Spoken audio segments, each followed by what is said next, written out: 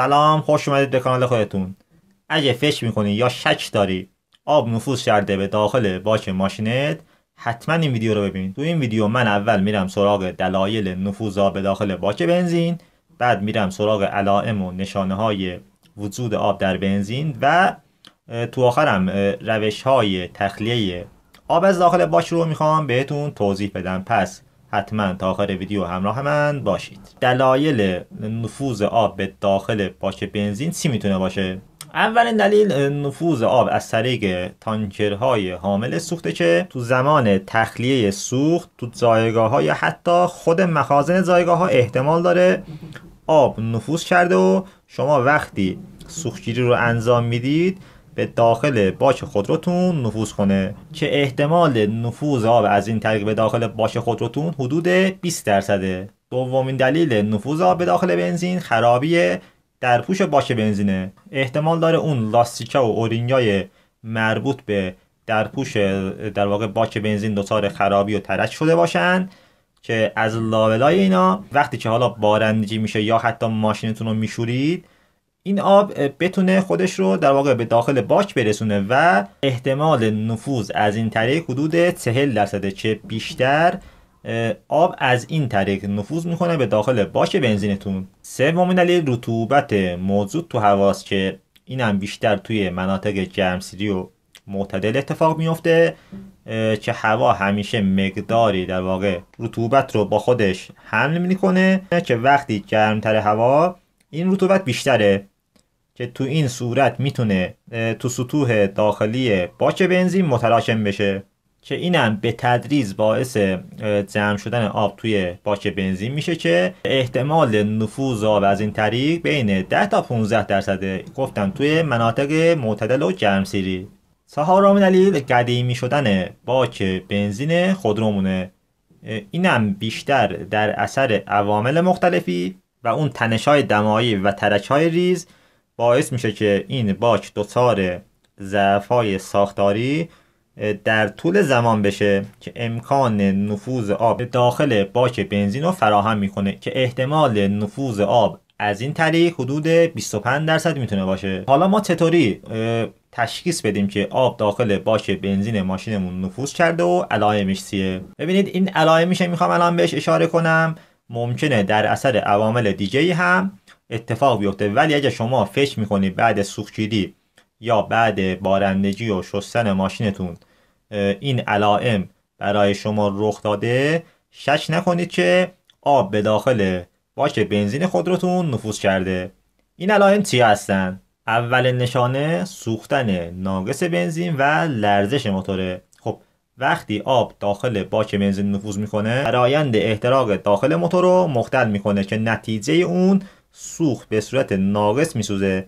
سر صدای موتور بوی غیرعادی و افزایش دود ایزوز ترین علائم سوختن ناقص بنزین هستند لرزش خودرو در حالت درزا هم می‌تونه یکی از اون علائم وجود آب توی باک بنزین محسوب بشه. دومین نشانه کاهش بهرهوری سوخت و افزایش مصرف سوخت بنزینه. ببینید وقتی آب داخل باک بنزین نفوذ می‌کنه ترکیبی با قدرت کمتر رو ایجاد می‌کنه. این ترکیب بر فرایند احتراق تو موتور تاثیر منفی می‌ذاره و منظر به کارآمدی کمتر سوخت میشه. در نتیجه با تلاش موتور برای تولید همون سطح قدرت سوخت بیشتری رو مصرف می‌کنه که شما مجبور میشید زود به زود برای سوخت گیری به جایگاه های سوخت برید. سومین موردم مشکل تو روشن شدن خودروتونه. تو این موردم موتور به سختی روشن میشه و وقتی هم روشن میشه یه حالت ریپ زدن به خودش داره و توی موارد شدیدتر هم حتی موتور خودرومون روشن نمیشه. چهارمین نشانه هم شنیده شدن صداهای غیرعادی از سمت موتورش احتمالا به تازگی به گوش شما می‌رسه و حالا توی شتابگیری هم حتی ممکنه صداهای ضربه مانندی رو هم شما بشنوید. پنجمین نشانم کاهش قدرت موتور خودرومونه.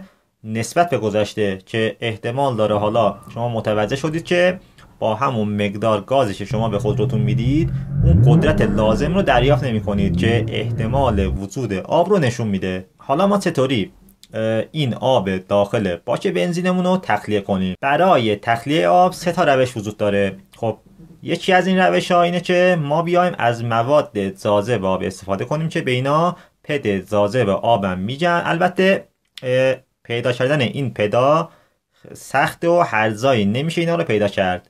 مورد دوم هم تخلیه با پمپ دستیه. فقط نکته که تو این مورد هست اینه که اون شلنگ پمپ باید به ته مخزن برسه و اون تمام بنزین و آب و با هم بچشه بیرون. ولی شما نیاید از این پمپ های برگ استفاده کنید. چون باعث آتش سوزی و خطرات جدی میشه که بعدا نیاید بگید آقا فلانی گفت که با پمپ بنزین رو بچشید نه فقط با پمپ های دستی. و یه نکته که در رابطه با این دوتا موردی که گفتم هست اینه که این دوتا روش به طور قطعی نمی‌تونن اون آب داخل باک بنزین رو تخلیه کنن.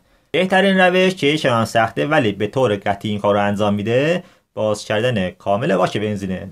وقتی که باک بنزین به طور کامل باز بشه شما می‌تونید باک رو به قشنگ ببینید و حالا ترکی داشته باشه یا موارد خرابی دیگه روی باک باشه شما می‌تونید قشنگ مشاهده کنید. اگه هم باک سالم بود فقط شما نیاز دارید که این باک رو با دستگاه های مخصوص که هست اینا رو در واقع این باک رو بشورید و دوباره مخزن و سر جای خودش ببندید که یکم سخت و زمان رو هزینه بر. ولی این روش به طور قطعی تمام ناخالصی های داخل باش رو شما می‌تونید با این روش تخلیه کنید.